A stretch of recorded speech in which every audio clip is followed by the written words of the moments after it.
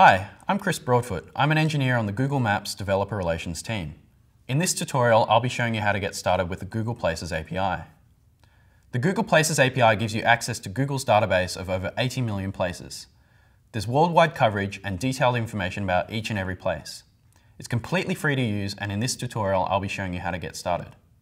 Before we begin, let me show you one of my favourite websites built with the Places API. Mapofthedead.com shows you how to survive the zombie apocalypse. The first thing you'll notice is that it doesn't look anything like Google Maps. These guys are using a great map style that gives a fantastic undead look and feel. Places that are important during the zombie apocalypse are displayed and marked on the map, such as gun stores, grocery stores, airports, and doctors.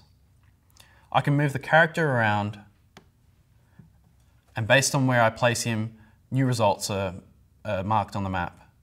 I can also use the text box at the top of the page to select a new location. This is the best time to use Places Autocomplete, a feature I'll be showing you how to use in a moment. You too can build apps like the one I just showed. It's worth reading through the documentation to get a good understanding of the capabilities. In this tutorial, I'll be demonstrating some of the features of the Places API. The Google Places API is accessible via a web service from the language of your choice or from your website using the library in the Maps JavaScript API. The web service can send responses formatted as JSON or XML. Today, I'll be using the JSON version. To start using the Google Places API, you first need to sign up for a Places API key. This allows us to issue you more quota when your application exceeds the courtesy limit of 1,000 requests per day. First, visit the developer console found over on the Google Developers website. You'll need to create a project, then enable the Places API. Read through the terms of service carefully there are some important points, including some about use of data returned from the API.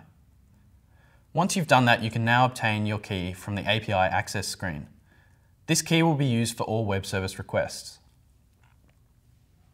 Let's take a look at Places Autocomplete. Google Places Autocomplete allows you to add similar functionality to the Google Maps search box on your website.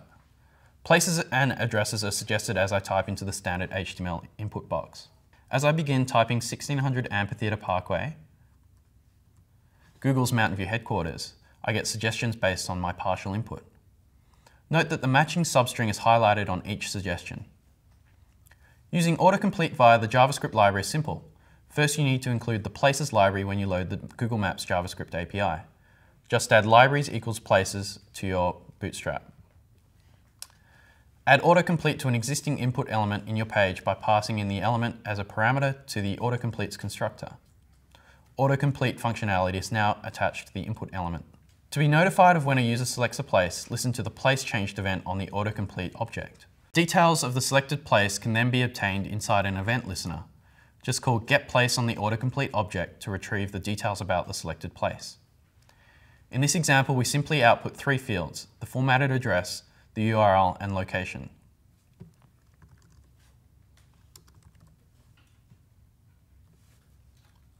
There are many other fields that you can use in your application. Autocomplete is also available as a web service, accessible from any programming language.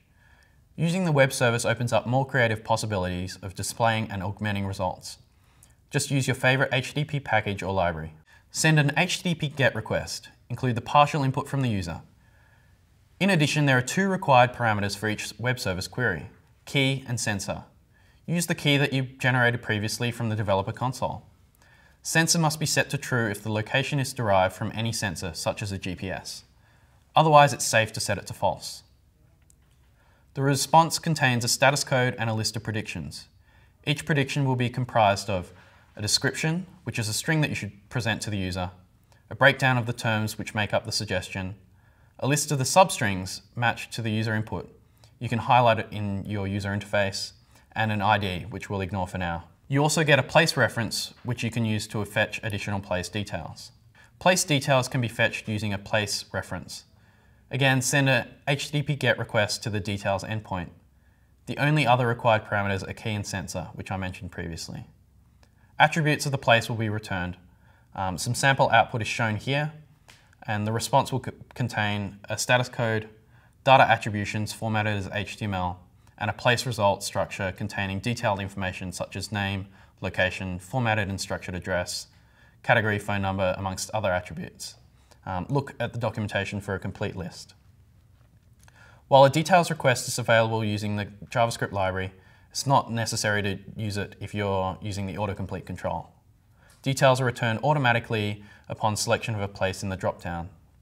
You might still want to store the reference for later retrieval of the place details. It's possible to perform some filtering on the autocomplete API. The first kind of filter is the type filter. This refines predictions based on the type of result. There are currently four options, geocode, establishment, regions, and cities. Geocode will return addresses and regions, and establishments will return businesses. The next kind of filter allows restriction of predictions to a single country. Simply add the components parameter. In this example, all autocomplete predictions are restricted to France. This is also valid on the autocomplete control, just set the component restrictions property. As I begin typing California, the autocomplete control will only offer me suggestions in France. Autocomplete is optimized to select a place based on partial input. It's optimized for very low latency so that users see results immediately after every key press. Places searches are more powerful. Complete search criteria is at your disposal. Send a HTTP GET query to the search endpoint. You should specify a location and a radius. You will receive a status code, data attributions in HTML format, and an array of place results. You'll notice that compared to autocomplete responses, much more information is returned about each place.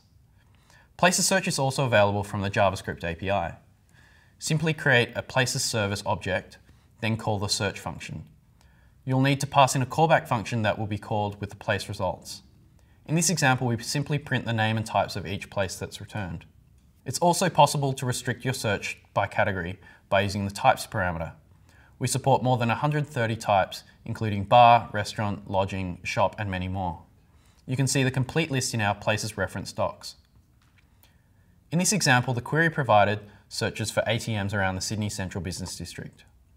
Sometimes, the type of place you want to search for is not included in our place types. For example, if you'd like to search for surf schools, you can use the keyword parameter. The Places API will match the keyword provided against all known text associated with a place, including its website and user reviews. It's also useful to refine a type search. For example, if you'd like to search for Italian restaurants, you can do a search for types equals restaurant and set keyword to Italian. Places search results can also be refined by exact matches of the name. Just specify the name parameter. In the previous examples, results were ranked according to their prominence score. Alternatively, results may be ranked by distance from the center of the query. Just specify the rank by parameter. When using distance ranking, you must also specify some other search criteria. In the example here, we use distance ranking and keyword filtering to find the closest sushi restaurant. This was just an overview of the Google Places API. There are many more details and features that you can explore over on the Google Developers website. Thanks for listening, and I look forward to seeing the apps that you develop.